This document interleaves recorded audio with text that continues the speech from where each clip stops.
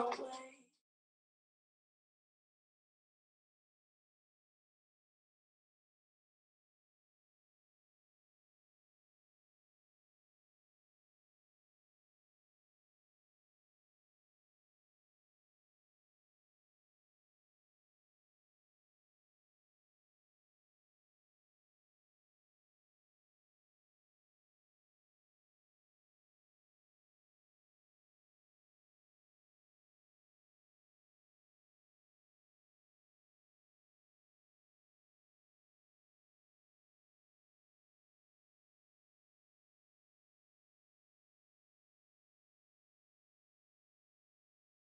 Sommes live.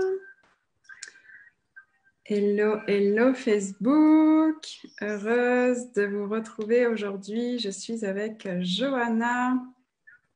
Je me branche sur le live Facebook pour euh, vérifier qu'on soit bien live aussi sur ma page et mon profil et que je puisse voir vos commentaires. Voilà, voilà. Vous laissant le temps d'arriver, le temps de vous connecter, d'être notifié du live.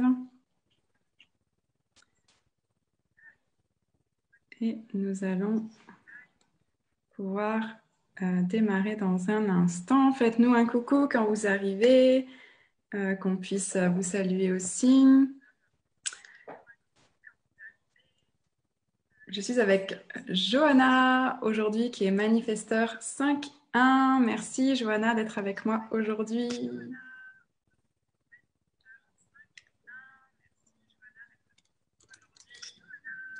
Alors j'ai quand même un, retour son. Ah voilà, c'est parce que j'ai pas baissé totalement ici. je l'entends aussi. Ah, c'est celui-là. Pardon. Je me disais, c'est à quel endroit que euh, je m'entends en double. Alors, ça Il y a un endroit que j'ai pas coupé. Voilà. Autant pour moi. Me revoilà. je, m'entendais, je ne savais plus où. Merci Johanna, je ne sais pas si tu as répondu parce que du coup j'étais en train de bidouiller avec le son. Merci d'être avec moi aujourd'hui euh, et d'avoir euh, ben, répondu à cette invitation joyeuse du, tirage au sort euh, de ces coachings. Bienvenue et merci d'être avec moi en live aujourd'hui. Merci à toi. hello Véro qui nous regarde. Euh, n'hésitez pas à faire un petit, un petit coucou quand vous vous connectez. Aujourd'hui, donc, on va aller à la rencontre euh, du, euh, du manifesteur et puis donc de, de l'énergie de Johanna qui se prête au jeu de ses coachings en live aujourd'hui. Donc voilà, encore merci à toi pour toutes les personnes qui pourront regarder aussi ce live que ce soit en live avec nous ou en replay, et puis pour qui ça pourra résonner et euh, ben voilà, créer de, l'espace et, des possibilités dans leur univers, comme on en parlait aussi un petit peu avant de venir en live. Donc, je suis, bien curieuse de voir euh, où, ce, coaching va pouvoir nous emmener pour toi et puis ensemble.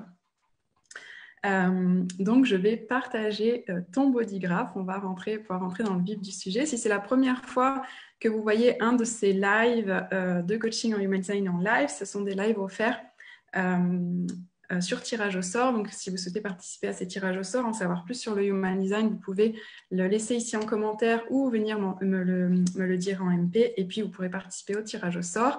Et si vous souhaitez faire réaliser votre charte human design en privé, c'est aussi possible. Tout est dans ma bio. Et nous allons pouvoir commencer. je vais donc partager, comme je disais, mon écran pour euh, pouvoir euh, voir ton énergie, puisqu'on parlait d'énergie, hein, Johanna, avant de, avant de venir en live. Hello, hello, qui est là? Merci pour vos cœurs. Donc, voici euh, le mandala de Johanna. Voici ton mandala, Johanna, ton énergie qui rayonne pour nous là à l'instant via ton mandala. On a Lydia qui nous dit bonjour et belle vidéo à vous. Merci Lydia, merci pour ta présence. Euh, donc déjà, est-ce que euh, qu'est-ce que ça crée pour toi de voir euh, rayonner ton mandala? Est-ce que ça, crée déjà quelque chose pour toi? Bah, Écoute, il y, a pas mal de couleurs. oui. Mais ouais, bah, ça, on voit qu'il y a, des, des, énergies qui ressortent. Yes, yes, yes. On a Laurence aussi qui nous dit bonjour. Hello Laurence, bienvenue. Hmm. donc, on va rester avec le rayonnement un petit peu du mandala avant de passer à l'autre version pour voir un petit peu plus en détail les éléments de ton, de, ton, de ton design. Donc, on est avec l'énergie du manifesteur aujourd'hui. Hein, et Waouh, Lydia, je n'ai jamais vu un mandala ainsi et tout est presque allumé, j'adore. D'accord. voilà, beaucoup de couleurs comme tu le partageais. Ça résonne aussi euh, pour Lydia, justement, euh, euh, qu'il y ait beaucoup d'activations apparemment. Hein. c'est ça qui est. Parce que les activations, c'est ce qui va être en couleur dans, nos, dans nos designs. Donc, à chaque fois qu'il y a quelque chose qui est coloré par rapport à une, une part vide ou en tout cas en blanc, c'est qu'il y a des activations et donc ça va être euh, finalement tes énergies à toi, on va dire, euh, qui te sont propres, que tu vas rayonner, alors que les endroits où c'est vide, ça ne veut pas dire qu'il n'y a rien, ça veut dire qu'on est plus euh, flexible, plus fluide en fait, et puis qu'on va plus capter finalement un petit peu ce qui nous entoure. Donc, donc voilà, on peut voir déjà un petit peu les endroits de ton bodygraph où toi tu vas rayonner, où tu vas avoir tes énergies.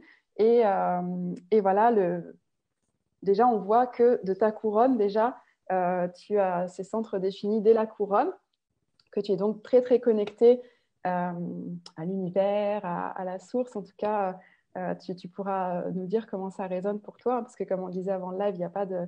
On n'est pas en train de, de, poser des étiquettes ou de dire c'est comme ça que ça se passe, bien sûr, mais tu vas pouvoir nous partager comment ça résonne pour toi aussi. Et c'est vraiment une caractéristique du manifesteur aussi, de justement être très connecté parce que le manifesteur va venir apporter ses idées dans le monde, va venir initier euh, ses nouvelles idées, sa créativité. Donc euh, voilà, cette couronne, cette couronne définie, pour toi, c'est aussi euh, ben, finalement un de tes outils de, connexion avec l'univers et puis de, pour pouvoir rayonner tout ça dans le monde avec tes, propres couleurs et puis justement sortir ben, des choses peut-être, comme on en parlait un petit peu avant de venir en live, plus imposées par la société ou euh, je ne sais pas comment tu l'énonçais, mais voilà. Est-ce que tu as envie de, rebondir là-dessus, de, nous dire comment ça résonne pour toi? Oui, c'est ça, comme on évoquait tout à l'heure, euh, c'est l'idée que j'ai besoin de beaucoup de, liberté euh, pour exprimer ma créativité et que ça passe par quelque chose d'assez personnalisé et qui ne soit pas enfermé en fait dans des, dans des cases ou dans des cartons. Yes, yes, génial. Merci pour ton retour avec tes propres mots. Euh, effectivement, c'est vrai qu'on peut concevoir que justement le fait que tu aies cette euh, connexion euh, à tes propres informations, si on peut dire, ben voilà, ça demande justement un espace pour pouvoir être exprimé, délivré et justement, ben voilà, le manifesteur va pas du tout être là pour suivre justement des courants qui existent déjà et, juste, et juste les suivre et puis rentrer dans les cases entre guillemets. Au contraire, c'est vraiment le manifesteur, celui ou celle qui va ben voilà, ok, c'est moi, j'ai tout ça qui arrive pour moi et puis pour vous aussi, et puis je partage avec vous, et donc j'initie des choses dans le monde par rapport à tout ce que je capte. Et, euh, et c'est là où le, manifesteur peut vraiment euh, se reconnaître aussi euh, ben dans ce, côté leader, leader, et puis à apporter des nouvelles choses dans le monde. Et, et, comme on le partageait aussi hein, avant le live, je ne sais plus comment tu me partageais ça, mais si tu as envie de rebondir ensuite là-dessus aussi, euh, c'est comment aussi quand on, ne, on, ne connaît pas ne son type énergétique, bah, parfois on peut euh, ne pas se reconnaître justement ici et penser que euh, comment ça se fait que j'arrive pas entre guillemets à rentrer dans une case quelque part à un moment donné. Je sais plus si c'est comme ça que tu le partageais, mais ce, que, ce que ça a pu créer pour toi justement de reconnaître cette énergie de manifesteur dans ta vie. Si tu as envie de nous partager quelque chose à ce sujet? Oui, bah, effectivement, euh, après, je connaissais pas du tout le human design, mais j'avais juste regardé brièvement et donc j'avais vu qu'il y avait cette idée euh, de, d'énergie euh, un peu fermée, mais qui du coup pouvait être perçue par les autres, pas, d'être pas toujours évident pour les autres en fait, et du coup de le savoir et de le prendre en compte, de m'en rendre compte, bah, du coup ça pouvait m'aider en fait dans, dans mon rapport avec les autres. Mmh, génial, j'adore. Oui, c'est ça, cette notion euh, que tu amènes de l'aura, euh, euh, on dit fermée et repoussante du manifesteur. Ça peut paraître un peu fort comme mot, et en même temps, c'est ce qui est présent dans l'énergie parce que ça sert vraiment le manifesteur pour pouvoir ben justement aller exprimer sa créativité et laisser, entre guillemets, les gens à l'écart, mais pas comment dire, pas pour être à l'écart des gens, mais vraiment pour avoir cette paix dans sa créativité et puis pouvoir, comme le, manifesteur, c'est celui ou celle qui initie, c'est lui qui va aller à la, entre guillemets à la pêche aux, personnes qu'il a envie d'avoir dans son univers. Et donc l'aura, par nature, son énergie euh, va être fermée pour que, ok, c'est moi qui vais là où j'ai envie, c'est moi qui vais dans les espaces où j'ai envie, et c'est pas tout le monde qui arrive dans mon univers, comme ça peut être le cas justement pour l'aura euh, des générateurs, des manifesteurs générateurs qui sont euh, ouvertes et invitantes, comme la mienne par exemple. Donc moi, c'est les gens viennent à moi, et puis moi après je vais répondre. Et le manifesteur, bah, comme toi par exemple, c'est non, moi, mon aura elle est fermée, dit le manifesteur, et euh, c'est moi qui moi qui vais là où j'ai envie en fait. C'est vraiment cette énergie d'initiation dans tous les euh, sur tous les plans, puis même dans, même dans l'énergie, du coup. C'est vraiment, euh, c'est moi qui, qui fais sortir mon énergie vers là où j'ai envie et, et, qui vais vers les gens où j'ai envie. Par contre, une fois que, que, tu as pu, enfin, que tu ou le manifesteur en général, hein, bien sûr, je ne peux pas parler pour, pour toi, hein, mais une fois que le manifesteur, en général, ce qui se dit en Human Design, euh, laisse entrer des personnes dans son univers, et ben là, elles, sont, elles y sont vraiment parce que c'est choisi par, par, par l'être manifesteur. Et, euh, et, ce qui va être important aussi pour le manifesteur, ça va être d'informer euh, quand, il est dans, quand il part dans ses phases de créativité, justement, puis quand il n'a pas envie d'être dérangé, pour justement que bah, justement ne pas générer de frustration ou de colère autour de lui, à ce qu'il ne soit pas compris, parce que comme il va très très vite à l'intérieur de toi, tu nous diras si ça résonne pour toi, mais c'est possiblement quand toi, les choses vont très très vite, que tu captes très très vite les choses. Voilà, tu as ta couronne, ton intellect, ta gorge définie, donc, donc ils ne sont pas tous reliés entre eux, mais ta couronne et ton intellect, oui. Donc euh, ce qui arrive ici est tout de suite traduit par ton intellect. Donc déjà, tu sais déjà bien, possiblement, tu nous diras comment ça résonne, mais euh, tout ce que tu captes finalement de, l'univers euh, ou de, plutôt de enfin, voilà, directement de l'univers, ben, ton intellect va directement savoir le traduire en mots, en pensées, en quelque chose de très structuré, possiblement, peut-être. Euh, je ne sais pas comment ça se passe pour toi, mais et que du coup, comme ça va très très vite, possiblement pour toi, eh bien, les personnes autour peuvent parfois se sentir un peu déboussolées de ne pas réussir à te suivre. Donc, c'est pour ça que c'est intéressant pour le manifesteur de pouvoir informer, OK, là, je suis en phase de créativité, là, je ne suis pas disponible, je fais ça, et, je ne veux pas être dérangée. Et en fait, ça, crée beaucoup plus d'aisance euh, en, général parce que bah, ça permet aux manifesteurs d'avoir cette paix qu'il chérit tant justement pour, dans ses phases de créativité et euh, de, revenir ensuite lui-même quand il a envie vers les personnes euh, qui, font partie de son univers. Est-ce que ça résonne pour toi? Totalement. Alors déjà, effectivement, juste quand je pense à mes relations, par exemple, personnelles, c'est vrai que j'ai pas, enfin, euh, je choisis vraiment mes amis euh, pour des qualités précises et, euh, c'est vrai qu'une fois qu'ils sont dans, dans, mon cercle et qu'ils sont vraiment mes amis, voilà, ils sont là, ils sont. mais je ne vais pas accepter tout le monde. et, et, après, au niveau de, des idées et tout ça, c'est vrai que j'ai un intellect qui, qui, est très actif.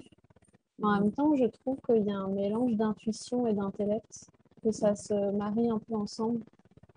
Et c'est vrai que du coup, euh, oui, des fois, ça peut, ça peut aller très très vite dans ma tête, mais euh, pas toujours euh, bien, bien suivi par les autres ou bien exprimé aussi. Des fois, j'ai du mal à exprimer tout ce que je, peut-être tout ce que je capte, tout ce que je comprends. J'ai du mal des fois à le traduire. Ok. Mm. Yes.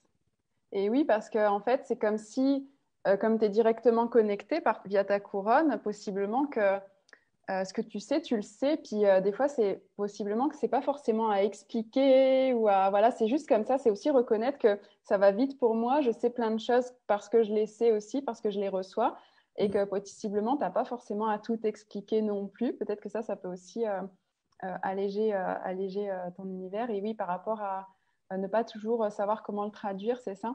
Mm. oui, c'est ça. Des fois, j'ai du mal à bah, c'est exactement ça, en fait. J'ai vraiment l'impression de comprendre des choses euh, qui nous dépassent. Ça me paraît complètement. Euh, enfin, pour moi, c'est compréhensible et, logique. Mais après, euh, l'expliquer, c'est pas mhm. toujours évident. Ok, c'est super intéressant. Je vais changer de vue pour qu'on ait voilà, une vue un peu plus détaillée sur les différents éléments de ton design. Euh, il y a quelque chose qui me vient par rapport à ce que tu dis, que parfois ça peut être pas évident pour toi de traduire finalement ce que tu reçois. c'est qu'en fait, euh, je vois que le canal qui relie ta couronne à ton intellect, c'est le canal 61-24, euh, euh, qui part de la couronne via la, porte qu'on dit aussi de la mystique, donc qui est très dans l'énergie féminine. Et, le canal, c'est le canal de la, de la conscience, justement, et de, et de l'ouverture. Et comme ce canal est inconscient, dans ce qu'on appelle conscient ou inconscient human design, c'est que ce qui est conscient, c'est tout ce qui va être en noir plutôt dans tes portes, en fait, tes portes et tes canaux, et inconscient, ça va plutôt être en rouge. Et quand c'est conscient, c'est quelque chose qu'on peut intellectualiser facilement la plupart du temps. Euh, on, en est conscient, on sait que ça fait partie de, nous, de notre personnalité. Et les parts plus inconscientes, ça, ça, peut être aussi des parts plus euh, tellement naturelles ou qui nous ont été transmises et qui sont comme qui font partie de, de nos gènes aussi, de notre euh, de notre génome. Et parfois, ça peut aussi s'exprimer peut-être autrement qu'intellectuellement, même si on est sur une connexion couronne, euh, couronne ajna, couronne intellect. Euh, mais comme c'est une porte aussi, la 61, qui est très dans la féminité, donc possiblement, une question qui me vient, c'est est-ce que peut-être que ce que tu n'arrives pas forcément à traduire de manière plus rationnelle euh, pourrait s'exprimer de manière plus peut-être artistique ou tu sais, via d'autres euh, prendre forme, en fait, que ces énergies pourraient prendre forme via d'autres, euh, comment dire, d'autres supports, je ne sais pas si c'est clair, tu sais, d'autres formes, d'autres supports que euh, de le traduire par des mots, possiblement, je ne sais pas. C'est possible. Après, je ne me fais pas beaucoup confiance dans la créativité, on va dire, manuelle. j'ai un peu plus de mal, je pense, à, à exprimer ça euh, via autre chose que l'intellect. Après, peut-être que ça peut passer par euh, tout ce qui est euh, émotion ou le corps aussi. oui, oui, totalement les émotions. Enfin, je dis oui. C'est aussi toi qui le vis, hein, mais moi je dis oui, oui par rapport à ce que je vois sur ton bodygraph, parce que justement tu as ce plexus solaire qui est le centre des émotions, qui est directement relié à ta gorge. En fait, ton centre du plexus est ici et il est directement relié à ta gorge via le canal 12-22, qui est aussi ben, finalement le canal qui, fait de toi un manifesteur, puisque un manifesteur, c'est euh, un être qui va avoir un des centres moteurs directement relié à la gorge. Ce, canal, euh, un des oui, c'est ça, euh, directement relié à la gorge, ce qui fait qu'en fait, ça permet au manifesteur de manifester très rapidement parce que le moteur va directement envoyer ses impulsions à la gorge, qui est le centre de la manifestation, de l'expression et de la manifestation. Donc effectivement, possiblement que certaines choses vont pouvoir s'exprimer via les émotions, justement, via en passant de ce centre vers ta gorge. Et possiblement peut-être avec une certaine intensité parfois, parce que le canal 12-22 peut être intense. Je ne sais pas comment ça résonne pour toi, cette notion d'intensité dans l'expression des émotions. Est-ce que tu peux te retrouver ici? Complètement. C'est vrai que je suis très sensible. Mmh. Et en fait, euh, il y a beaucoup de choses qui passent par le corps finalement. Mm. Euh, pendant longtemps, j'avais du mal à le comprendre parce que du coup, je privilégiais plutôt l'intellect et ma tête. Mais c'est vrai qu'avec le temps, je me rends compte que euh, je ressens beaucoup de choses via mon corps, via l'intérieur en fait. Et j'essaie de, mieux comprendre ces signaux, parce que je pense qu'on a beaucoup à apprendre aussi de... en les écoutant. Yes, totalement. Bah là, je te rejoins. Euh, amen, je dirais là vraiment. Écouter les signaux du corps euh, totalement, même si l'intellect, comme tu le dis, est aussi. Euh, enfin, je ne sais pas si tu l'as exprimé, mais ce qui me vient là, c'est que l'intellect est très utile pour justement analyser, etc., traduire des choses, etc. Mais c'est vrai que les signaux du corps, pour s'orienter dans la vie, c'est toujours ce qui va, qui va être le, plus euh, contributif pour nous pour s'orienter et, l'intellect a ses autres, euh, ses autres atouts quelque part, mais pas pour euh, prendre nos décisions en tout cas.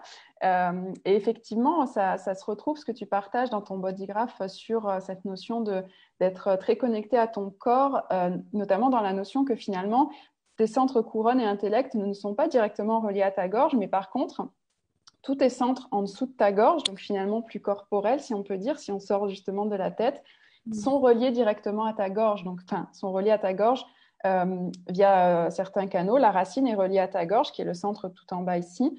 Euh, via le plexus solaire, on a un canal ici qui relie ton plexus, puis ensuite ta gorge, puis ton, ton G-center aussi ici, et aussi relié à ta gorge. Donc, euh, tu as énorme dans ton système finalement fonctionnant, puisque tu, tu, tu me disais euh, avant qu'on vienne en live que ça t'intéressait l'énergie finalement, mm. comment fonctionnait l'énergie hein, dans, dans, dans, cette approche.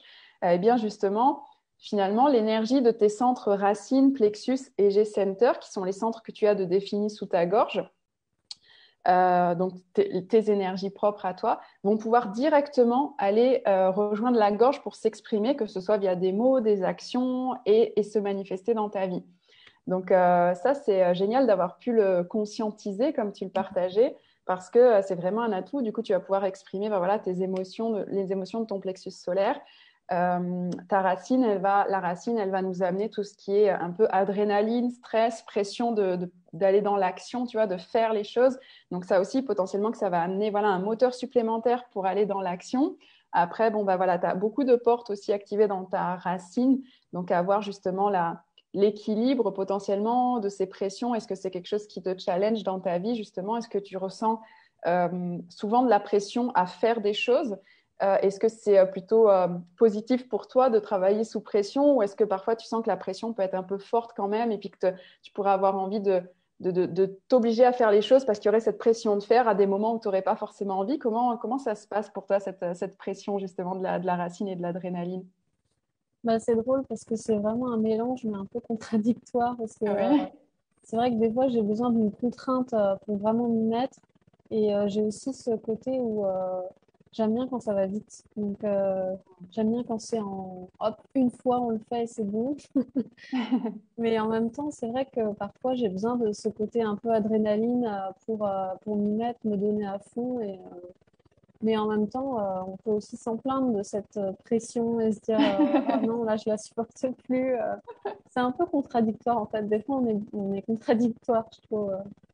Yes, et ça vient aussi du fait, euh, ça peut venir aussi du fait qu'en fait, ce centre racine, il a comme un mode on-off.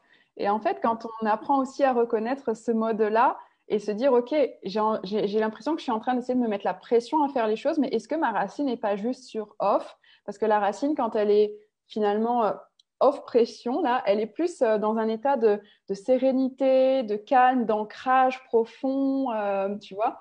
Et, euh, et, autant, bah voilà, quand la pression est là, ça va être la pression de passer à l'action et justement, euh, ça peut être une super contribution. Puis, quand on reconnaît ce mode on-off, moi, c'est ce qui, parce que j'ai aussi ma racine définie, ça m'a permis d'aller voilà dans cette observation-là de, ok, quand est-ce que justement, euh, je suis en train d'essayer de me mettre la pression alors que ma racine, elle serait plutôt dans le off pression et juste, je peux apprécier cet ancrage, euh, d'être dans le zen de ma racine, dans mon ancrage vraiment hyper zen et dans quel moment finalement la pression est une contribution pour moi pour passer à l'action, tu vois, pour euh, justement ben, finalement embrasser ce paradoxe-là quelque part euh, dont tu parlais et le mettre à notre contribution, tu vois, est-ce que ça résonne pour toi ça? Complètement, ouais. C'est tout à fait ça. Génial, génial, génial. Euh, donc aussi, voilà, on disait, donc tu es ton centre des émotions, il est aussi directement relié à ta gorge et à ton canal 12-22. Euh, qui est euh, le canal de l'ouverture. Donc voilà, c'est là où justement euh, tout ce que l'intensité des émotions finalement que tu peux, enfin c'est aussi l'expression de ton centre du plexus qui va aussi rejoindre la gorge via, via ce, via ce, canal-là. Et aussi ton centre du G-center, donc ton centre plexus solaire est aussi finalement, pardon, ton autorité, ton autorité est émotionnelle via justement cette connexion de ton plexus à ta racine. Donc, qu'est-ce que ça veut dire autorité émotionnelle? C'est qu'en fait, euh, effectivement, tu es manifesteur et euh, ta stratégie dans la vie, c'est d'initier, c'est-à-dire que c'est toi qui va... c'est le seul type, hein, finalement, le, manifesteur, qui représente 8% de la population, qui est vraiment aligné avec le fait de je veux faire quelque chose, je le fais. alors que c'est beaucoup quelque chose qu'on entend, on entend beaucoup ça dans le monde, mais en human design, en tout cas, c'est vraiment très aligné qu'avec le manifesteur parce que euh, ben, tous les autres types, ça ne veut pas dire que quand ils veulent faire quelque chose, ils ne vont pas pouvoir le faire. Ça veut dire que quand ils vont vouloir faire quelque chose, ben, il y a une stratégie qui va être à écouter pour vraiment voir si, ok, juste j'essaie d'exprimer ma volonté d'une part, de quelque part, mais pas de ma tête ou peut-être de mon cœur, mais pas forcément de mon autorité en bas, d'où qu'elle vienne suivant les types. Et donc, euh, ben voilà, le manifesteur, c'est vraiment le seul qui peut dire je veux faire quelque chose, bim, j'y vais. par contre, avec une autorité émotionnelle, ça va quand même te demander, en tout cas, c'est ce que dit le Human Design par rapport à comment créer le plus d'aisance par rapport justement à cette capacité à initier que tu as, c'est quand même d'attendre la clarté dans tes émotions quand tu as une envie, par exemple, de faire quelque chose. Ben, possiblement que suivant l'intensité de, de l'importance qu'aura cette action ou cette, euh, cette, décision à prendre dans ta vie, ça peut déclencher une vague émotionnelle en fait à l'intérieur de toi. Et euh, du coup, pour prendre, euh, pour initier au mieux finalement, pour être au mieux aligné avec ta capacité à initier les choses dans ta vie, ben, le Human Design va t'inviter à, à attendre que la clarté arrive, c'est-à-dire, OK, laissez passer la vague, et une fois que tu te sens à peu près à 70-80% neutre, OK, c'est bon, là, j'y vais. Euh, est-ce que j'ai toujours envie de, est-ce que je veux toujours faire ça et puis ensuite là j'y vais? Est-ce que ça c'est quelque chose que tu peux remarquer dans ton univers? Comment ça résonne pour toi ça? Hmm, J'ai quand même du mal à attendre. Ok. je suis quand même quelqu'un de super impatient. Hmm. Euh, quand j'ai envie de quelque chose, que je veux quelque chose, il faut que ça arrive quand même rapidement. Hmm. J'entends totalement, j'entends. Euh, c'est vraiment caractéristique du manifesteur, puis c'est ce qui c'est ce qui te permet aussi de créer, euh, de créer beaucoup et ça fait partie de qui tu es. Et euh, en même temps, est-ce que tu peux remarquer des moments où justement le fait d'y aller pendant que tu es encore dans parfois l'émotion, si c'est le cas, est-ce que tu peux remarquer des fois où justement ben, tu peux être déçu par la suite ou que ça, ça n'est pas été dans le sens que tu voulais ou que tu pu te rendre compte que finalement j'ai initié ça mais finalement j'ai plus envie Est-ce qu'il y a des fois où quand tu te lances rapidement, euh, c'est pas créateur forcément pour toi? Alors, euh, je suis rarement déçue par euh, ce que je fais. c'est vraiment euh, de l'humilité, mais c'est parce que je sais pas, il y a quelque chose en moi qui me dit là, je, je le fais, je me pose pas de questions en fait, j'y vais hmm. quoi.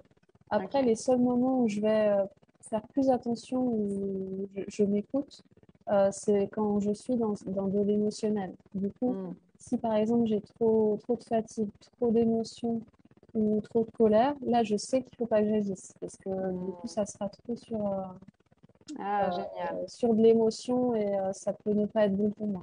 Hmm, ok, ok. Donc, possiblement que tu es déjà quand même relativement assez aligné finalement à cette autorité émotionnelle, puisque comme tu l'exprimes, quand tu te sens dans l'émotion, tu n'y vas pas tout de suite, en fait, quelque part. Donc, possiblement que c'est aussi pour ça que globalement, ça se passe relativement bien. Après, oui, j'entends que dans le, dans la, la phrase, j'étais pas forcément avec les bons mots hein, dans la déception, mais c'est de voir, voilà, est-ce qu'il y avait des choses sur lesquelles tu te disais, mince, pourquoi je suis allée là-dedans euh, mm. Mais finalement, si tu, si tu es à l'écoute de tes émotions, euh, ben, c'est génial parce que ça veut dire que tu es déjà dans l'alignement quelque part à cette autorité émotionnelle euh, qui t'invite à, à, attendre que les émotions passent pour y aller. Donc ça, c'est génial. Génial, génial. Merci pour ton partage. également aussi, en fait, c'est le manifesteur, quelque chose qui est intéressant à voir, et je ne sais pas comment toi tu le vis, tu vas pouvoir nous partager ça si, si ça résonne pour toi, c'est en fait le manifesteur, c'est en démarrant l'action finalement qu'il se rend compte vraiment totalement si euh, la chose lui correspond ou pas, ou le, projet lui correspond ou pas. Est-ce que tu peux te reconnaître ici, que tu as besoin comme de, de, goûter déjà aux choses avant de savoir totalement si c'est si pour toi? Bah, Oui, c'est vrai que en fait, je privilégie l'action, enfin, comment dire? C'est pas l'action à la réflexion parce que je fais pas tout et n'importe quoi. Mmh. Mais c'est vrai que j'ai besoin d'être dans l'action et je vais pas trop trop anticiper. Mais c'est comme quand je te disais tout à l'heure que j'aime la spontanéité. En fait, euh, pour moi, c'est ce qui est le plus important. Sinon, euh, je sais pas, je me sentirais pas, pas bien en fait euh, dans cette action. Donc oui, j'ai besoin d'être dedans. Bon, peut-être que je me suis un peu précipitée, peut-être que je vais un peu vite, mais non, finalement, je me dis, bah non, c'est, je suis comme ça et je dois juste suivre. Euh, Exactement. C'est ça, c'est ça. Et finalement, ben, tout de suite, tu te rends. Euh, le fait aussi peut-être de reconnaître ça, cette part du manifesteur, ça, peut aussi amener à observer, même si possiblement que tu le fais naturellement aussi déjà, euh, dès le début de l'action, finalement, aller réajuster ce curseur de OK, est-ce que finalement la chose est vraiment pour moi ou pas pour moi? Et, et de pouvoir ben, parfois voilà, te retirer simplement des choses où tu t'es lancé et puis que finalement euh, tu le sens plus une fois que tu as commencé à, t'engager dedans. Puis ça, c'est hyper. En fait, finalement, ça fait partie de l'alignement du manifesteur. C'est comme ça qu'il va savoir. Mm. Euh, c'est en allant dans l'action. Donc, c'est aussi comment ne pas se juger avec ça euh, et vraiment, voilà, se reconnaître totalement dans, cette. comment dire dans ce fonctionnement-là de je goûte aux choses et c'est à ce moment-là que je sais totalement à, à 3000% là si je continue dedans ou si juste je change finalement. Mm.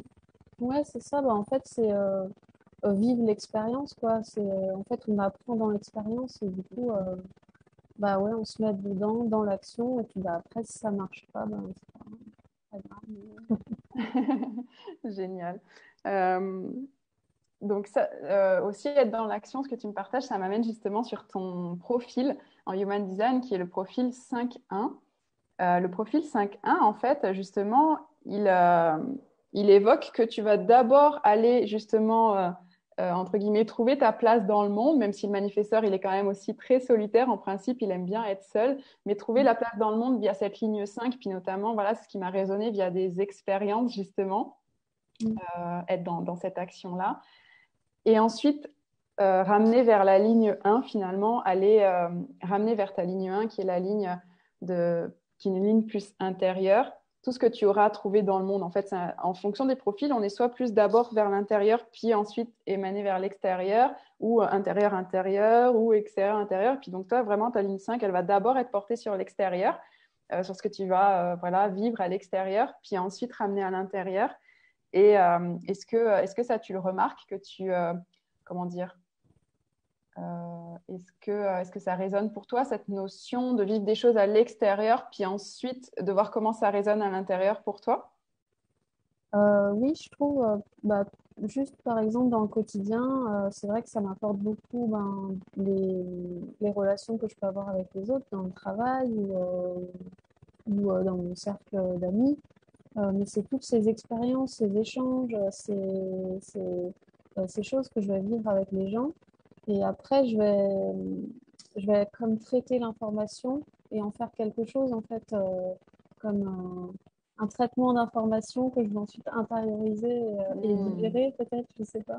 génial, génial. Merci euh, de, de, partager avec tes mots finalement hein, cela, parce que c'est toujours, c'est toujours plus, plus parlant. Moi, je ne peux pas parler je peux parler de la théorie hein, sur plein de choses, mais finalement, de ce que je vis, je peux parler de, mes éléments à moi de design. Donc, c'est chouette de, pouvoir avoir ton retour sur ce profil-là 5.1.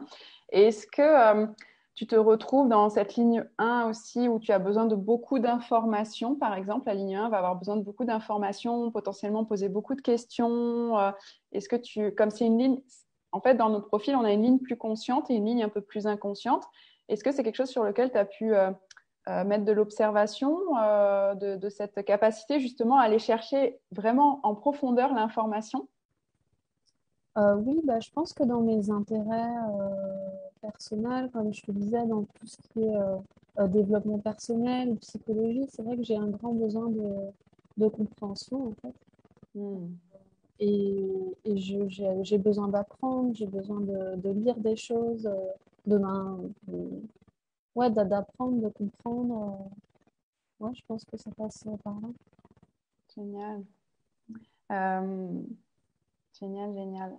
Et, c'est ça aussi, justement, qui fait de ce, profil, en fait, finalement, tu vas avoir un peu un profil, euh, entre guillemets, sans, mettre dans une case, hein, bien sûr, mais dans l'énergie, finalement, de ce profil, on retrouve euh, bien la, la, ligne 5, c'est un peu la solutionneuse en série. J'aime bien l'appeler le solutionneur en série parce que, ben, justement, tu vas pouvoir avoir des solutions sur plein de choses. Puis en plus, quand tu ramènes ça à l'intérieur, puis à aller chercher encore plus d'informations en profondeur, ben, tu deviens encore plus experte dans ce que tu connais, dans ce qui t'intéresse.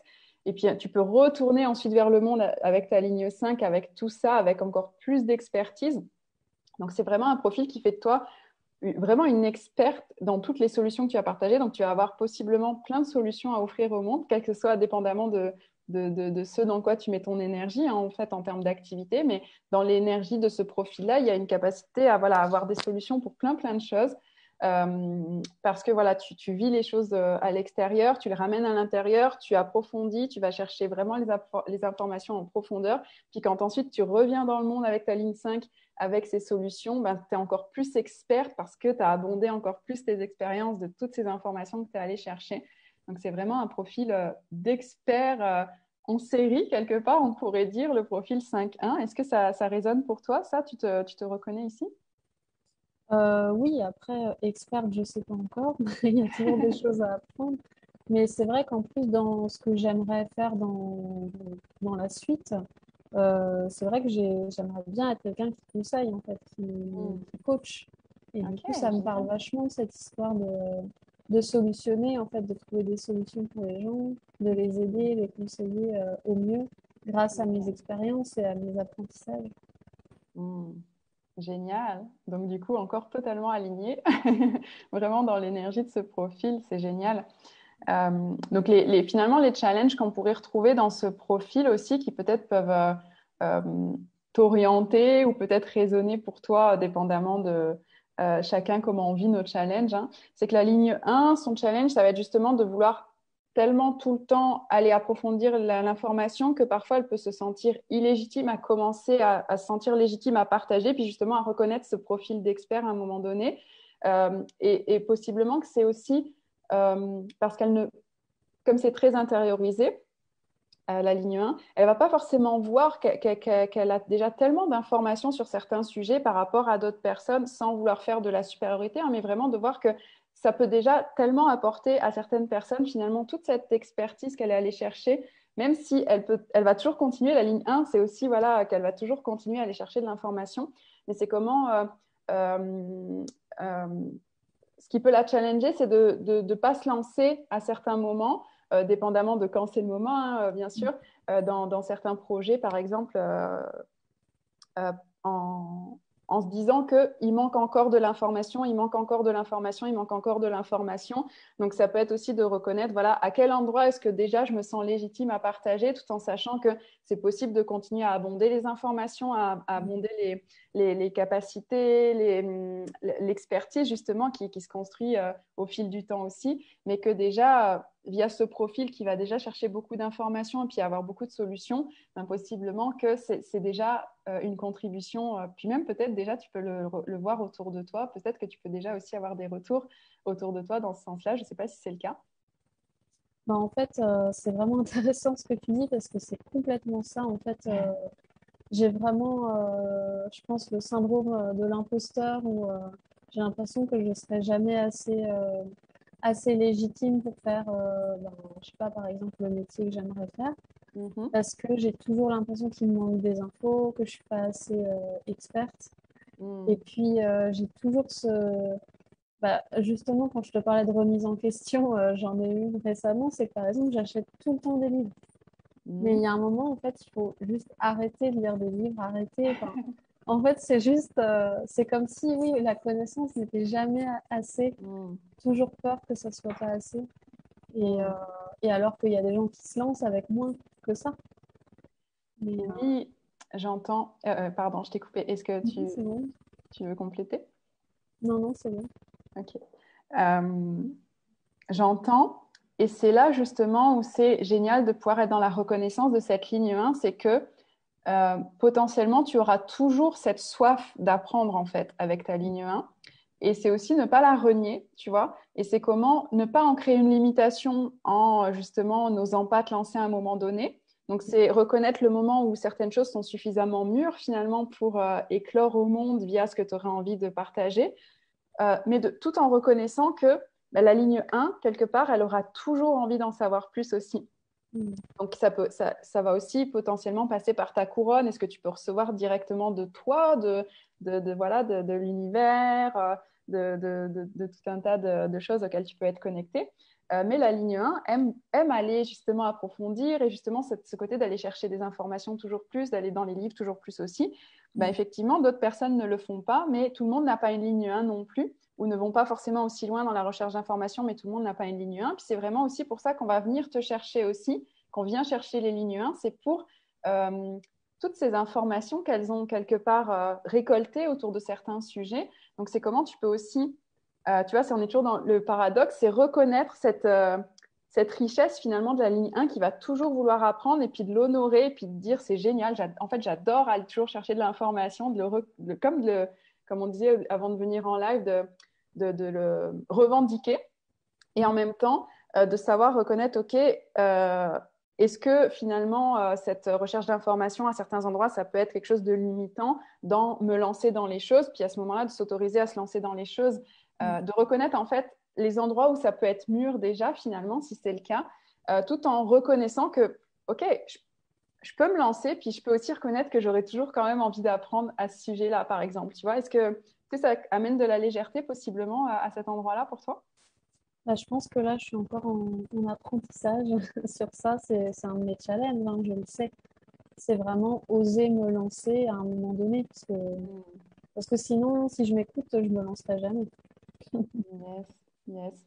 Euh, mais c'est génial déjà de poser de la conscience dessus et, euh, euh, et de, de, voir comment ça se manifeste dans ta vie et aussi des choses qui peuvent potentiellement t'aider dans cette observation-là, c'est de te demander en fait finalement qu'est-ce qui peut t'aider, te faire te sentir sécure à te lancer et justement de voir peut-être quelles informations te manqueraient pour te lancer? Parce que possiblement que c'est aussi, ça peut être de la conscience hein, sans forcément aller dans le tort de soi et le jugement de j'ose pas me lancer, mais possiblement que une part de toi va requérir tel ou tel enseignement avant de pouvoir le partager. Puis c'est en posant des questions, tu vois, tu peux y aller dans euh, ben, qu'est-ce qui ferait me sentir sécure dans le fait de, euh, euh, de commencer à partager sur tel ou tel sujet, par exemple, ou d'amener telle solution. Et ça m'amène aussi du coup à ta ligne 5 et à, le challenge de cette ligne 5 aussi. c'est justement, ça va être le côté, parce que la ligne 5, c'est la solutionneuse en série. Donc j'ai une ligne 5, j'ai pas de ligne 1, mais j'ai une ligne 5, donc j'ai pu, je, peux aller explorer cette, cette énergie-là. Euh, la ligne 5, comme elle a beaucoup de solutions à apporter, potentiellement, on peut poser beaucoup d'attentes en miroir sur elle. Et donc, euh, ce qui va être euh, à faire attention, c'est de ne pas se mettre en position de sauveur ou de sauveuse, justement, dans la ligne 5, de ne pas répondre aux attentes de tout le monde, mais vraiment de réinterroger à quel endroit j'ai envie d'aller contribuer, de quoi j'ai envie vraiment. Puis la ligne 5, elle a besoin justement d'être vue et reconnue au-delà de sa capacité à apporter ses solutions. Donc, par rapport à ce qu'on partageait juste avant sur la ligne 1, euh, et, à qu'est-ce qui pourrait justement aussi euh, ben, finalement faciliter ce processus à, prendre confiance justement c'est aussi ça va être important justement de, euh, de voir de qui est-ce que tu t'entoures justement. Puis comme le manifesteur c'est toi qui vas aller sélectionner quelque part et, et choisir qui va faire partie de ton environnement. C'est de te demander aussi est-ce que je me sens vue et reconnue au-delà des solutions que je peux apporter, au-delà de, au-delà de, pouvoir aider les gens, tu vois? Est-ce que je ne sais pas si, ça déjà c'est quelque chose qui est présent dans ta vie? Est-ce que tu peux avoir cette sensation, euh, voilà, de alors après, comme ton aura est repoussante, je ne sais pas comment ça se passe pour toi, parce que moi, c'est vrai qu'elle est invitante. Donc, euh, potentiellement qu'on vit la ligne 5 justement aussi très différemment. Donc, ce serait super intéressant aussi d'avoir ton retour là-dessus. Est-ce que ce côté sauveur ou euh, d'attente sur ce que tu pourrais avoir à partager, tu le vis au quotidien? Comment ça, se manifesterait pour toi si c'est le cas? Alors, côté sauveur, euh, non, je ne suis pas forcément. Euh, je trouve que je pose assez bien mes limites dans, le sens où je choisis vraiment mes amis et voilà, je, hmm. pose des, limites. Après, c'est plus dans le sens où, dans ma tête, il faut absolument que j'aide les gens. Et du coup, c'est mon rôle. Et du coup, c'est, pardon? C'est mon rôle. Et du coup, euh, c'est peut-être faire attention à ne pas hmm. être enfermé dans ce rôle-là. De hmm. penser qu'il faut absolument euh, aider les gens et que du coup, si je les aide pas, ben, c'est quoi mon rôle en fait? Hmm. Yes, génial. Merci pour ton partage. Euh, c'est là où c'est super intéressant de voir que du coup, ton, ton, type manifesteur et ton aura te permet de poser tes limites possiblement plus facilement que quand on a une aura qui invite plus les gens, parce que moi, ça a été plus challengeant, le côté sauveur, mais après, chacun euh, le vit les choses à sa manière, bien sûr. Et c'est intéressant euh, ce que tu partages. Euh, qu'est-ce, qui, était là? Par rapport à aider les gens, c'est ça, c'est quelque chose que moi aussi, je suis vraiment allée revisiter, c'est que finalement, oui, on a cette capacité à aider les gens, puis j'aime bien comment tu l'amènes, le fait du rôle, c'est, en fait, finalement, c'est quel rôle j'ai vraiment envie de jouer euh, dans quel endroit j'ai vraiment envie de contribuer, qu'est-ce que j'ai vraiment envie de choisir dans ma vie, parce qu'on a le choix total et justement pas s'enfermer dans un rôle. Euh, mm. Et oui, on peut aider les gens, mais à quel endroit on aurait envie d'aider les gens finalement? Parce que de revenir dans ce choix total plutôt que de répondre finalement à, aux attentes justement et aux demandes, aux sollicitations finalement extérieures, parce que oui, on a cette capacité en, tant que ligne 5 à, à, répondre aux attentes de beaucoup de, sur beaucoup de choses justement via cette ligne 5. Et c'est intéressant de pouvoir revenir, voilà, sortir du rôle, comme tu dis, j'aime beaucoup comment tu l'amènes, et de mm. dire, OK, finalement, est-ce que ce rôle-là, il me, il me contribue ou pas dans ma vie? Est-ce que j'ai vraiment mm. envie d'aller contribuer à cet endroit-là? Ou est-ce que je peux faire euh, d'autres choix qui euh, vont me permettre aussi d'aider, de contribuer, mais pas que, c'est-à-dire que je vais aussi pouvoir être vue, reconnue pour qui je suis, euh, mm. au-delà finalement de, du rôle finalement d'aidant. Et du coup, là, la ligne 5 va beaucoup mieux se reconnaître et euh, possiblement que même pour ton profil en général et dans ton énergie en général, c'est aussi plus, euh, plus contributif de, le voir comme ça. Génial. Cool, génial, génial. Euh, c'est super intéressant de pouvoir voir justement cette ligne 5 sous divers aspects en fait et, donc via ton, ton, prisme de manifesteur aujourd'hui. Donc merci pour tes, pour tes retours, c'est super. Euh, après, voilà, on en parlait, hein, on, a parlé des challenges, puis les cadeaux, ben, c'est voilà, c'est que du coup, ça va être vraiment de pouvoir apporter des solutions sur plein, plein de choses. Donc, possiblement, ça t'ouvre un terrain de jeu où tu vas pouvoir aller choisir à quel endroit tu as envie d'aller contribuer, euh, d'avoir finalement euh, cette expertise-là, de la reconnaître finalement, et puis de pouvoir aller aussi ben, voilà, embrasser pleinement cette cette part du personnage aussi et du rôle, comme tu le dis, finalement, de euh, j'aime aller apprendre plein de choses et dans quel endroit j'ai envie de continuer à apprendre, puis à quel moment je me dis, OK, là c'est bon, je peux partager, puis je vais quand même continuer à apprendre parce que ça fait partie de mon personnage que j'aime euh, et qui aime finalement apprendre aussi, euh, voilà, sans, sans, en créer une limitation, mais vraiment aller le mettre à, profit de ta vie. à contribution de ta, vie finalement. Donc, c'est vraiment les, cadeaux de ce profil qui va avoir ben voilà, plein, plein, plein, plein de choses à apporter et à ramener à toi aussi, vu qu'ensuite tu ramènes à l'intérieur. Et, euh, et euh, du coup, dans cette énergie de manifesteur, justement, où toi, tu vas initier plutôt les choses, euh, des nouvelles choses, et puis ensuite que d'autres personnes vont possiblement les, comment dire, continuer à les faire vivre, mais où en tout cas, tu vas pas forcément être obligé de t'impliquer dans tout le processus aussi. Ça, je ne sais pas si c'est quelque chose que on n'en a pas trop parlé quand on a parlé de l'énergie du manifesteur, mais est-ce que tu te rends compte de... Enfin, est-ce que c'est quelque chose qui résonne pour toi euh, Cette notion à pas forcément être euh, euh, bien ou avoir envie de suivre des choses du début à leur fin dans, dans le suivi des choses? Complètement. c'est vrai que j'ai beaucoup d'idées. Hmm. J'ai beaucoup d'idées pour les autres, pour moi des fois. Mais euh, c'est vrai que après donner toute mon énergie juste euh, pour euh, pour mettre en place un projet de A à Z, c'est pas ce qui va me passionner. Moi, hmm. ce qui me passionne, c'est le début, c'est le c'est l'idée, c'est et je trouve que du coup, je manifeste ma créativité par là en fait. Génial. Hmm.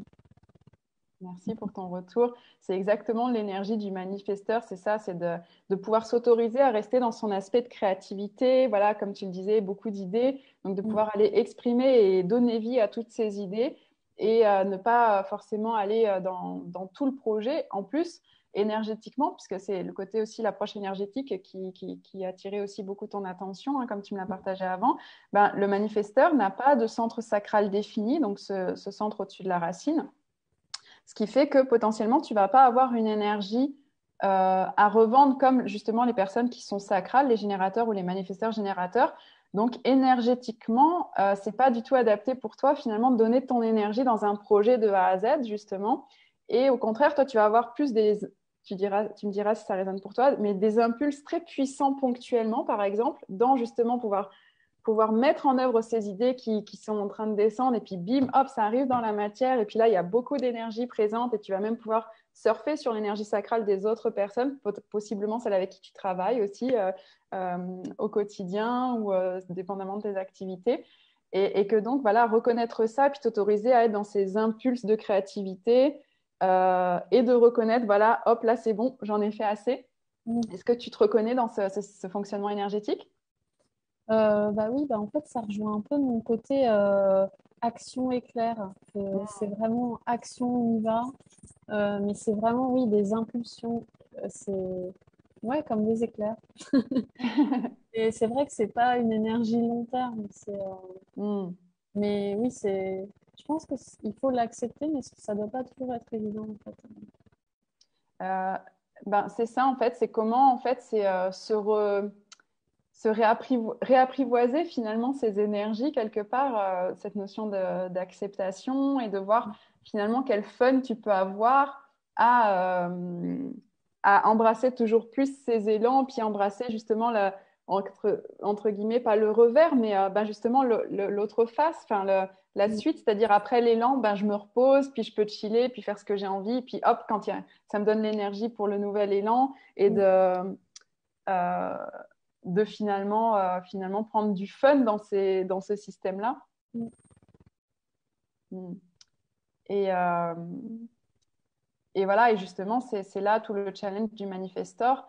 Euh, je ne sais pas si c'est quelque chose qui est présent pour toi, mais justement de, voilà, de, de bien se déconditionner de cette énergie sacrale que tu pourrais possiblement avoir dans la journée ou dans tes phases de créativité, mais qui, euh, euh, qui, appartiendrait aux autres et puis du coup pourrait, si on n'en est pas conscient, justement, en tant que enfin, les personnes qui, seraient manifesteurs ou en tout cas toutes celles qui ont un centre sacral non défini, qui sont aussi les, les réflecteurs et les projecteurs, ben, pourraient avoir, avoir l'impression qu'elle pourrait tenir cette énergie dans la durée.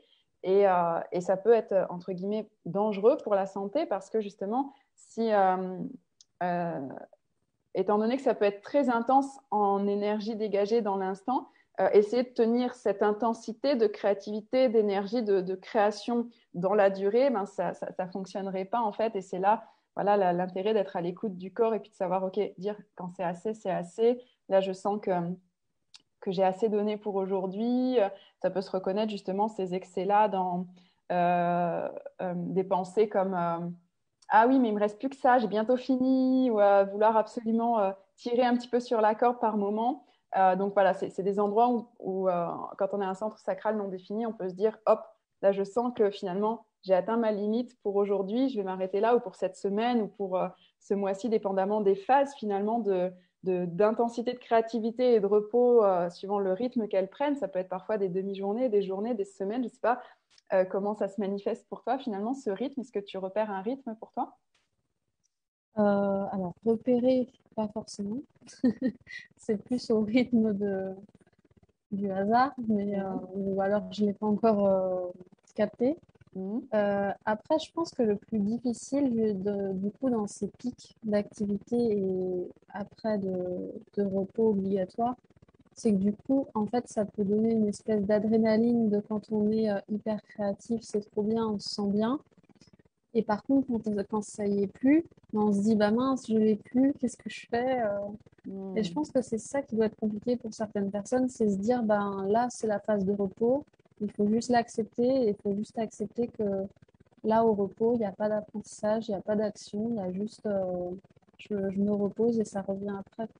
Hmm. Yes, merci pour ton partage.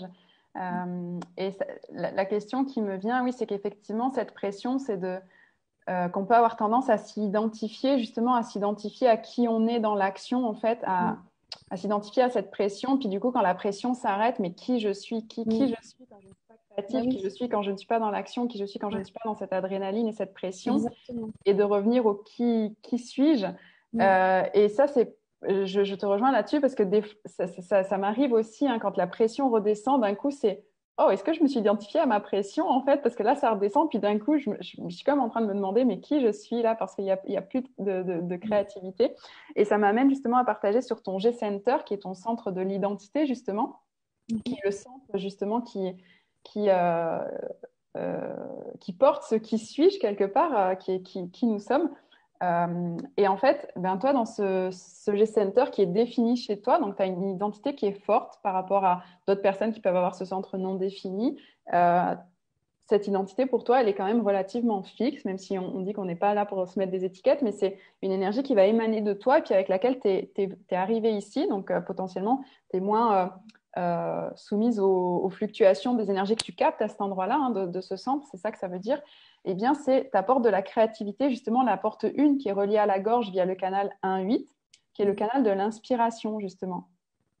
Et donc, euh, c'est aussi, voilà, comme euh, ce qui me revient, c'est ce, ce, dont on parlait tout à l'heure, tu sais, où certaines choses aussi, de pas forcément savoir comment les traduire et les exprimer, ben, mm. possiblement qu'il peut y avoir une réponse ou en tout cas une exploration de à cet endroit-là, de ce canal de l'inspiration qui vient de, euh, de ce G-Center, qui est aussi le centre de l'amour, euh, de, notre GPS intérieur, de l'identité. Donc possiblement qu'il y a des choses qui peuvent émaner de cet endroit-là, plus que de, la tête en fait finalement, et qui peuvent peut-être se traduire via ben, justement euh, l'amour de soi, l'amour, ben, toi justement, la porte qui va être relative à, cela dans ce centre-là, c'est ta porte de la créativité. Donc c'est possiblement via ta créativité aussi que que ce, comment dire, que ce qui suis-je s'exprime. Donc ça peut aussi eh ben, résonner avec quand tu dis justement quand la phase de créativité euh, s'arrête, cette interrogation de mince, qui suis-je? Parce que la, créativité, la, pression s'arrête. Euh, possiblement ça peut être ben, finalement dans ces phases plus calmes. Comment, ce, comment cette porte de l'inspiration peut s'exprimer, tu sais, en mode plus chill finalement. C'est qu'est-ce que qu'est-ce que ça peut être finalement de recevoir cette inspiration? Peut-être que ça peut être des phases justement pour recevoir les idées, pour aller poser l'attention justement sur euh, une autre, d'autres phases du processus que celle de l'action, de la pression et d'amener dans la matière, mais justement dire, OK, là, je suis en mode off.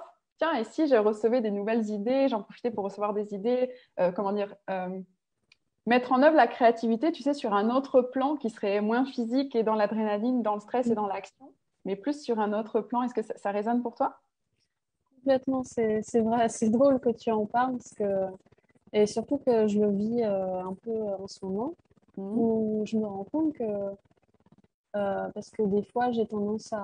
Alors, si je suis pas dans cette espèce d'adrénaline de créativité, du coup, je me dis, euh, oh bah, je fais rien, qu'est-ce que je fais je reste chez moi parce que j'ai aussi ces besoins d'être seule. Mmh. Mais en fait, je me suis rendu compte que en fait, ces moments-là, ils sont aussi hyper importants pour se recentrer, du coup, pour, euh, faire des choses euh, plus calmes, mais qui sont aussi hyper essentielles et qui permettent d'équilibrer les gens, en fait.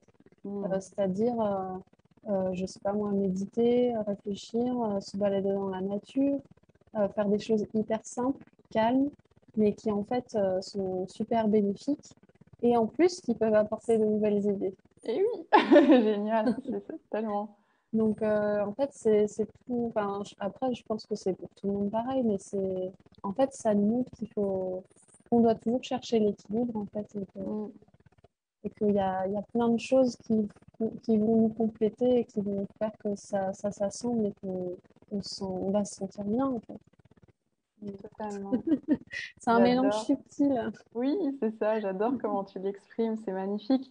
Et c'est ça, c'est reconnaître voilà, les différentes parts à l'œuvre finalement euh, de nous euh, dans, dans, leurs différentes formes, leurs différentes intensités, puis savoir que, que finalement, euh, on n'est pas finalement la phase dans laquelle on est en fonction de, la phase dans laquelle on est, mais qu'on est vraiment plus cet observateur et puis cette énergie-là, et puis qu'elle peut s'exprimer sous différentes phases. Et puis parfois, ça va être dans l'action, euh, alimenté par la, pression et l'adrénaline. puis parfois, ça va être dans la réception et la méditation, etc. Et, et euh, génial.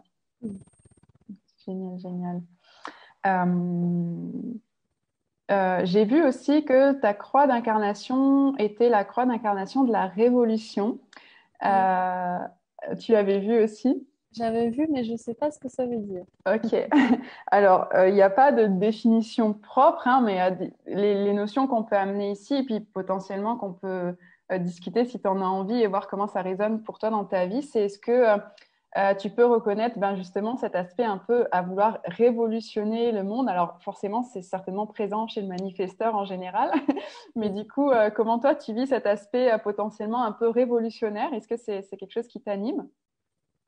Alors, révolutionnaire, euh, je ne sais pas si j'irai jusque-là, mais c'est vrai que j'ai une tendance à ne pas vouloir faire comme les autres. Mmh. Euh, à, je ne sais pas, par exemple, je suis une femme, du coup, euh, j'aime bien défendre la, femme, ce qu'elle représente. j'aime pas les sociétés complètement patriarcales. ça peut être aussi ouais, euh, ouvrir, euh, ouvrir l'esprit aux gens, en fait, euh, avoir, enfin, montrer aux gens qu'il faut avoir l'esprit plus ouvert, qu'il ne faut pas être trop jugeant ou, ou, ce genre de choses. Ça peut être ouais, de cette façon. J'adore ce que tu partages parce que c'est exactement ce que j'ai lu dans ce qui est décrit de cette croix d'incarnation qui dit que justement, c'est pas tellement en passant par la révolution, par la force, etc., que cette croix va s'exprime, mais plus justement par euh, amener de la conscience. Et tu l'as exactement dit, c'est genre euh, l'ouverture d'esprit, etc. et j'avais le sourire jusqu'aux oreilles parce que je t'avais rien dit de ce que j'avais lu. Et vraiment, tu l'as exprimé totalement. c'est totalement ce qui, ce, qui, ce qui est énoncé dans cette croix d'incarnation. Donc, c'est génial que tu mm. puisses te retrouver à cet endroit-là. Et puis voilà, du coup, c'est notre croix d'incarnation, ça fait partie en fait de quand on est aligné, ce qui va se, finalement s'exprimer naturellement de nous. Euh, c'est un petit peu ce, choix d'incarnation qu'on a fait. Mais euh, l'idée, c'est pas de le voir de manière limitante, euh, dans l'idée de, en fait, j'ai le libre arbitre, finalement, je peux faire ce que j'ai envie. Oui, toujours, bien sûr. mais ce que va dire le Human Design, c'est que potentiellement, c'est l'endroit où on va pouvoir s'épanouir le plus parce que c'est avec tout ce avec quoi on est venu ici, tout ce qui est activé en nous, etc. Euh, c'est dans l'expression euh, la plus naturelle, la plus aisée, la plus fluide de cette croix que finalement, possiblement, notre être va être le plus expansé euh, et, épanoui et va le plus recevoir de ce qu'il est venu finalement vivre dans cette incarnation. Donc voilà, toi, ça tourne autour de cette croix justement de la révolution et donc de la révolution par la conscience finalement, parce que la transformation, changer l'état d'esprit, etc. Donc c'est génial, je trouve par rapport à tout ce qu'on a évoqué avant, justement, de cette, bah, justement avec ce type leader euh, de manifesteur, euh, ton, ton, profil qui peut euh, aller voilà, dans l'expertise et, les solutions, et avec cette croix d'incarnation de, de, révolutionner les choses qui te tiennent à cœur via la conscience. Je trouve que ça fait un beau package quelque part, si on peut dire comme ça. ça se complète bien. Mm. Ouais, c'est ça, ça se complète bien. Est-ce que tu as envie de, rajouter quelque chose par rapport à cette croix d'incarnation? Est-ce qu'il y a quelque chose qui, euh, t'interpelle, qui t'appelle ou que tu aimerais partager? Euh, Non, du coup, je pense que ça, a bien résumé euh, la, révolution. Génial. super, ça fait, ça fait déjà une heure qu'on est ensemble, Johanna. Merci pour ce moment parce qu'on ne voit pas le temps passer. Hein. C'est chouette d'échanger sur, sur toi, sur ton bodygraph. Euh, est-ce que tu as des choses sur tout ce qu'on vient de parler sur lesquelles tu aimerais revenir, euh, des, questions qui viennent là, enfin voilà, avant que qu'on voilà, qu'on revienne aussi vers les personnes qui sont avec nous et puis qu'on clôture gentiment ce moment. Euh, est-ce qu'il y a quelque chose qui vient sur lequel tu aimerais échanger encore? Non, pas forcément. en fait, je trouvais ça hyper intéressant dans l'échange de en fait, les choses sont venues naturellement, je trouve, et euh, ça, ça, il y a une belle euh, harmonie en fait entre, entre nous deux. Et, euh, et puis c'est vrai que ça m'a permis de me rendre compte des challenges aussi qui me restent Enfin, qui, qui me restent. Mais puis ben, en tout cas, si ça peut aider les gens, ça me, ça me va. toujours, c'est toujours une contribution. Merci beaucoup pour ça, hein, pour avoir oser le pas de venir en live parce que euh, ben voilà, ça demande hein, quand même de, venir euh, euh, sourire en live. et oui, génial donc d'avoir pu peut-être poser plus d'observations sur certains challenges et puis peut-être aussi sur des choses que tu savais déjà, mais peut-être les, comme les affirmer un peu plus. Je ne sais pas si, si ça c'est aussi présent pour toi.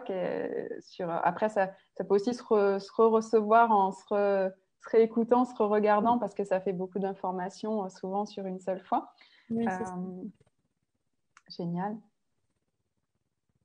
Super, merci pour ça. Euh, si c'est OK pour toi, je vais regarder les, commentaires qu'on a eu dans le chat pendant ce moment. Alors, Lydia nous disait la paix en étant manifesteur, ça résonne si fort. Et oui, Lydia, tu es manifesteur générateur, donc tu as aussi voilà, un peu cette énergie du manifesteur. Hein. Euh, donc la paix, ça résonne possiblement aussi, enfin, ça résonne souvent chez les manifesteurs générateurs aussi, en plus de la satisfaction. Euh, bonjour, vraiment intéressant Cynthia. Hello, hello Cynthia. Bienvenue dans ces conversations. Je crois que c'est la première fois qu'on se croise. Donc, euh, merci de ta présence. Si tu es encore là, Morat, si tu es passé par là, je ne sais pas si tu es toujours là. Oui, tu vas apprendre le mode on-off, dit Lydia. Crois-moi, c'est que du bonheur, c'est tellement mieux.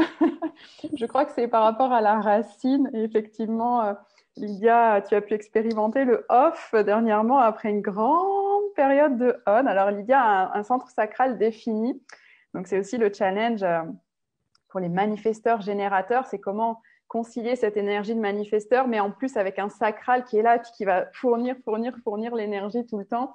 Donc de pouvoir écouter quand même les, phases de repos avec quand même ce sacral qui, qui, pulse en permanence. Donc c'est encore différent. On voit bien que chaque type a vraiment euh, euh, son énergie propre et, ses challenges aussi, mais aussi tous ses cadeaux, hein, parce qu'on amène les challenges pour pouvoir ben voilà, s'offrir des, pistes finalement d'évolution. C'est pas c'est pas du tout d'aller dans le dans le côté négatif des choses. C'est vraiment bien de, de, pouvoir ouvrir. Comment est-ce qu'on peut mettre ces énergies le plus à, notre contribution quelque part, les vivre de la manière la plus aisée, la plus joyeuse possible, et puis reconnaître finalement euh, les forces qu'elles sont pour euh, notre parcours d'incarnation quelque part.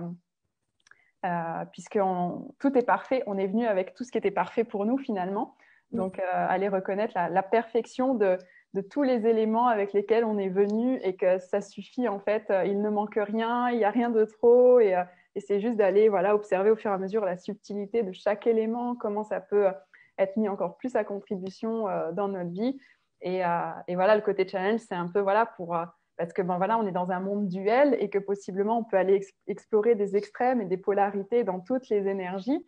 Et c'est comment voilà, on peut interroger aussi, même sans sans forcément savoir certaines fois quand euh, les parts qui nous challenge euh, vont pouvoir être mises à, plus à profit quelque part et plus à notre contribution. On peut simplement poser la question, OK, comment cette énergie-là, je peux la mettre plus à profit dans ma vie Par exemple, comment je peux mettre plus ma ligne 1 à profit dans ma vie? Comment je peux mettre plus ma ligne 5 à profit dans ma vie? Euh, Comment je peux mettre plus, je ne sais pas, mon canal de l'inspiration à profit dans ma vie?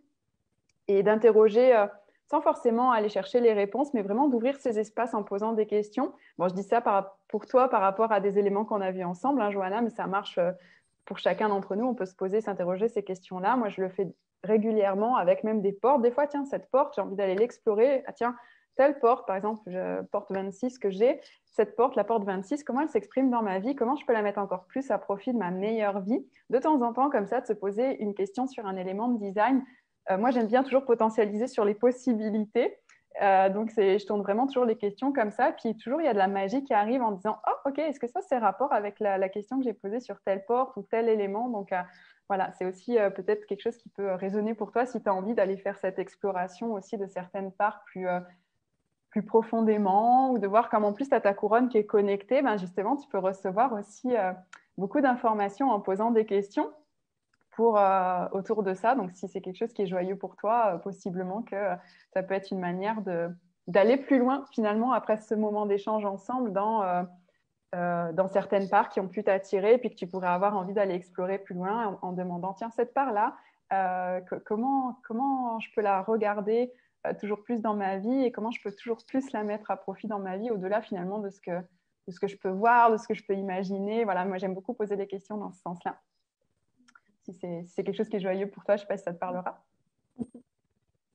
Bah oui, c'est sûr. Hein. Euh, pour le moment, je suis en, digestion.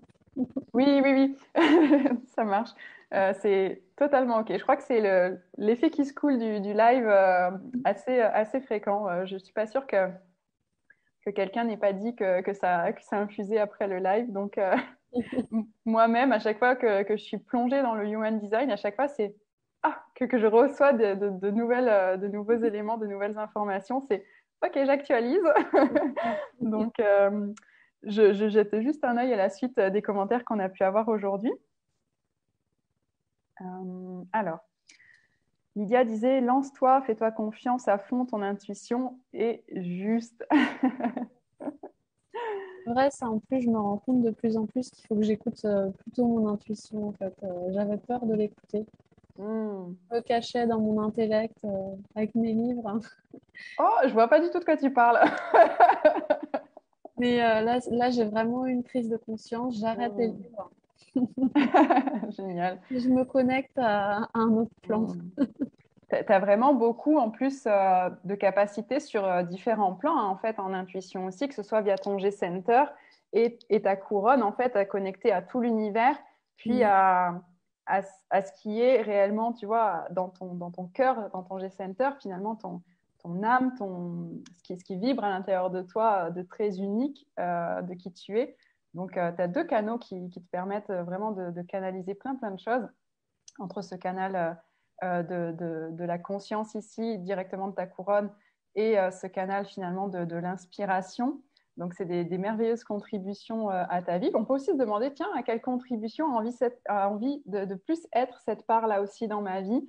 Pour comme lâcher aussi des fois comme on aimerait avoir le contrôle de savoir comment ça se passerait, etc. Mais tiens, comment est-ce que je peux juste recevoir? Tiens, euh, mon canal de l'inconscience, qu'est-ce que tu aimerais m'apporter aujourd'hui dans ma vie? Mon canal de l'inspiration, qu'est-ce que tu aimerais m'apporter dans ma vie aujourd'hui? Ça pourrait être des questions aussi intéressantes. Et euh, ben voilà, et puis potentiellement, peut-être que la ligne 1 peut toujours avoir de temps en temps envie d'aller euh, savourer un livre. Hein, c'est possible. C'est comment aussi, tu vois, comme tu disais, on parlait d'équilibre. C'est comment trouver cet équilibre-là tout en autorisant. En fait, c'est comment on ajoute à notre vie tu sais, de dire, euh, euh, enfin, c'est en s'écoutant, hein, bien sûr. Et puis, si l'énergie est là d'arrêter les livres, je te dis pas non, regarde les livres.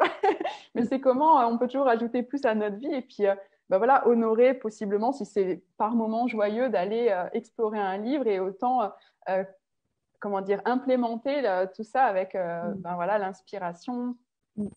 ce G-Center, cette couronne, l'univers et tout ce, que, tout ce qui est disponible pour toi. Donc, c'est génial que ça ait pu euh, bah, contribuer à ce niveau-là, en tout cas par rapport à te faire confiance. Et tu peux vraiment, parce que euh, ces canaux, ils sont là. Hein. Alors, euh, ils sont inconscients, entre guillemets. C'est-à-dire que c'est plus une intelligence corporelle, hein, on va dire, dans l'inconscient. Ce n'est pas péjoratif, c'est plus une intelligence corporelle qui se qui n'est pas forcément malléable avec la tête, justement, cette, cette, descente de la couronne vers l'intellect, et aussi de ton G-center vers ta gorge. Il y a une des deux portes qui est aussi justement dans ce côté inconscient, donc beaucoup plus dans l'intelligence corporelle. Donc, euh, donc voilà, c'est quand même tout le temps à disposition. C'est tout le temps là. ça que je voulais amener, c'est que même si euh, rationnellement, parfois, euh, on peut ne pas le voir, c'est quand même toujours à disposition pour toi. Donc voilà, quel cadeau ça, peut, ça peut être pour la suite pour toi. C'est génial de, de, pouvoir recevoir ça. Lydia nous disait, oui, cette soif d'apprendre, c'est en toi. Mine de rien, je comprends si bien cette soif d'apprendre et ça ne s'arrêtera pas et c'est ça qui est bon. Euh, oui, l'honneur, l'honorer cette soif d'apprendre, je te jure, on se régule, régale peut-être, ou régule, c'était peut-être voulu puisqu'il est entre, entre parenthèses, entre guillemets. Bah, les deux, les deux. Oui, les deux fonctionnent finalement. Lydia, c'est la, la, euh, la elle aime bien s'amuser avec la langue des oiseaux, donc euh, elle, euh, elle, est, elle, est, beaucoup euh, sur les mots, donc c'est possiblement voilà, voulu aussi cette, cette double intention avec ce mot-là. on avance. Oh, que du bon pour toi. Alors, Lydia te souhaite que du bon. Merci. pardon. Elle rajoute Bravo, tu résonnes ici et maintenant. C'est magnifique. Selena disait Laisser être. Qui suis-je en me connectant à l'espace de l'amour que je suis? propose Selena comme question. C'est beau Merci Selena pour ta question. Merci Lydia aussi pour tes retours. Laurence dit c'était très intéressant. Merci Laurence pour ton retour. Heureuse que ça ait pu contribuer pour toi. Est-ce que tu es manifesteur, Laurence?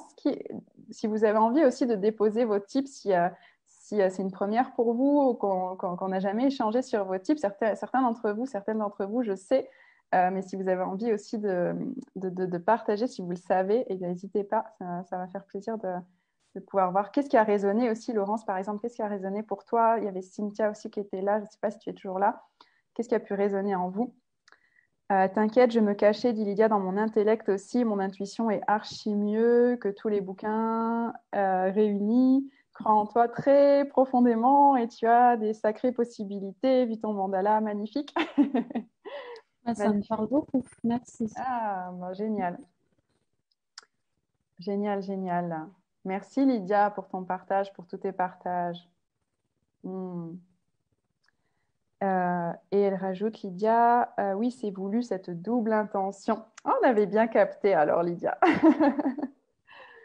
Génial, merci pour tout. Je ne sais pas qui est encore là.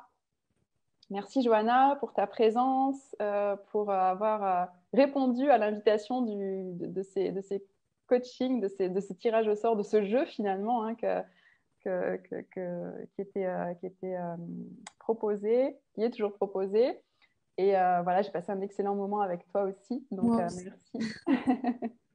C'est super, merci beaucoup. Avec grande, grande joie. Je suis vraiment très heureuse d'avoir pu faire ta connaissance en cette occasion aussi, puisqu'on n'avait finalement pas tellement échangé, et puis on ne se connaissait pas, mm. pas, pas, avant non plus.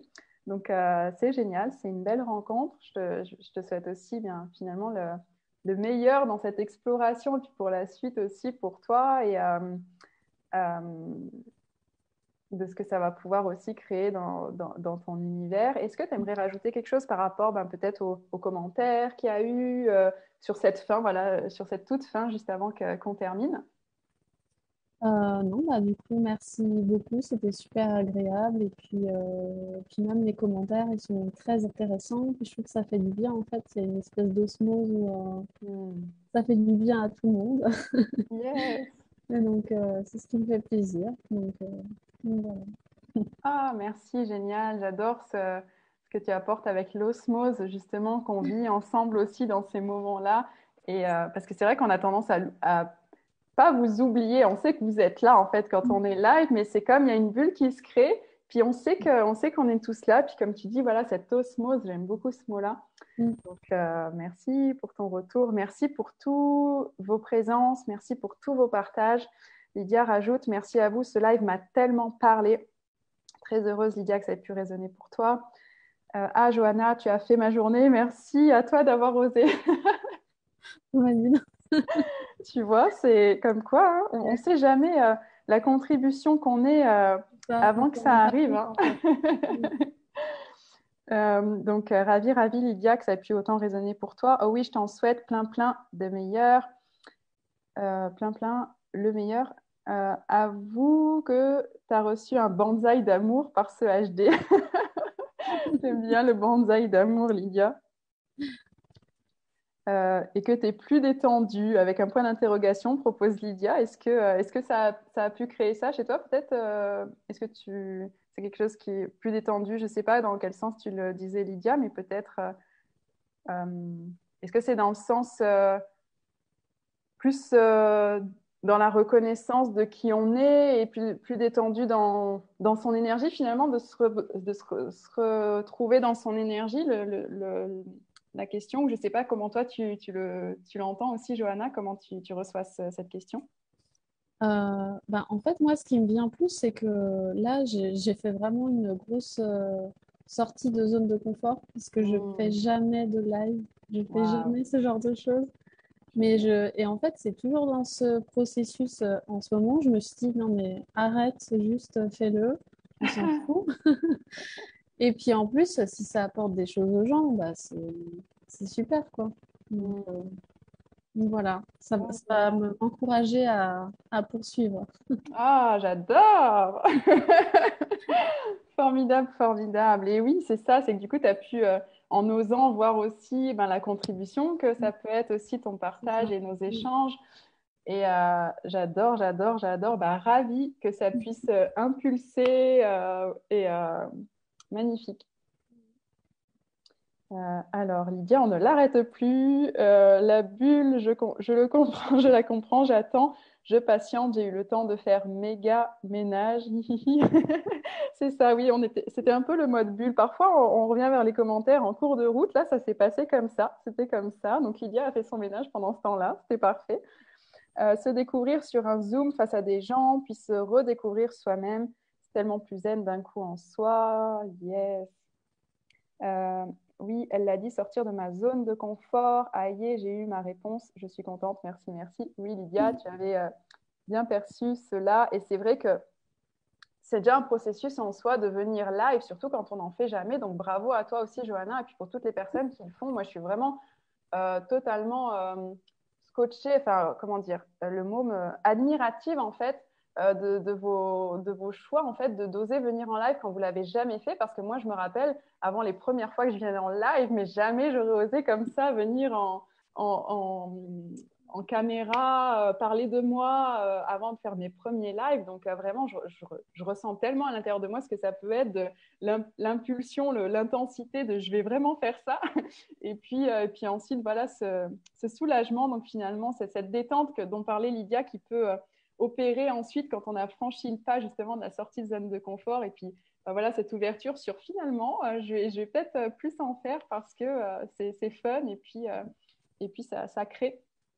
Donc c'est chouette. Oui, c'est de la création. Comment? Ça crée quelque chose, c'est ça. C'est ça. Oui, ça, du coup, ça résonne bien pour toi, la création. Exactement. génial, génial, génial. Alors, euh, on, va, on va terminer gentiment. Donc, euh, oui, oui, poursuis, c'est génial, dit Lydia. Stop, de toute façon, je suis un chouïa retard sur mon live. Merci, merci, merci, bisous. Yes, on va s'arrêter là, je vous embrasse, merci. Et encore de ce merveilleux moment, bisous et belle lumière sur vous. Merci Lydia pour ces mots de la fin. Euh, merci à tous d'avoir été présents. Merci encore Johanna euh, de ta présence et de tout ce que ça, tout ce qu'on a créé ensemble aujourd'hui et pour tout ce que mm. ça va créer pour la suite, pour toi, pour nous, pour euh, voilà, pour tout le monde. C'est cette impulsion qui a été générée dans l'univers.